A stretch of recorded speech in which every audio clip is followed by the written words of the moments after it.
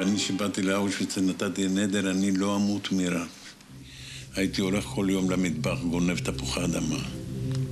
כמה פעמים תפסו אותי.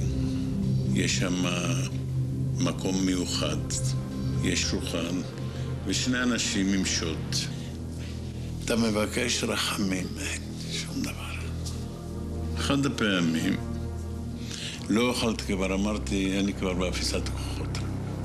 פתאום בא גרמני, נותן לי בעיטה באשכים, ואני צועק, אוי מאדרה, אוי מאדרה. אז זהו אימא, בספניולית. עוברת בחורה אחת עם הקאפו שלה. היא הייתה מיוון, סלוניקי.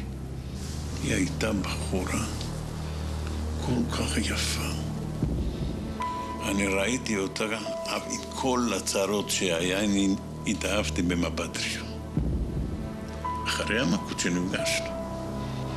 איך קוראים לך? עליזה. איך קוראים לך? עובדיה.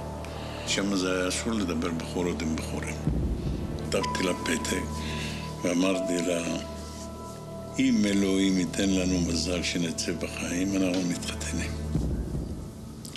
אבל היא לא סיפרה לי שהיא הייתה בבלוק עשר. והיא עברה נישואים של מנגל. כשנודע לי שזה הייתי אני מועמדת לניתוח, הסתכלתי כל הזמן למעלה, לחלון, לראות פתח של אלוהים. להגיד, תציל אותי. תציל אותי. השתחררתי בחמישי למאי 1945, ואני יום אחת הולך לוועד הקהילה בסלוניקי, אני מסתכל, זו עליזה, עליזה. מתחבקים, בוכים, מתנשקים, אנשים לא ידעו מה הולך. אז אה, אני אמרתי לה, עליזה, את יודעת מה, אנחנו נתנו נדר שאנחנו מתחתנים. אז עליזה אומרת לי, בשום פנים אנחנו, אני לא מתחתן איתך. למה? אני שואל עליזה. עובדיה אומרת לי, עשו לי ניתוח, אני ילדים לא יכולה להביא. אמרתי לה, אני לא רוצה ילדים. וזהו היה מזל שלי, שאני באותו הזמן ירדתי לניתוחים, ושזה היה מהידיים של היהודי. היה שם איזה פרופסור שמואל, פרופסור יהודי.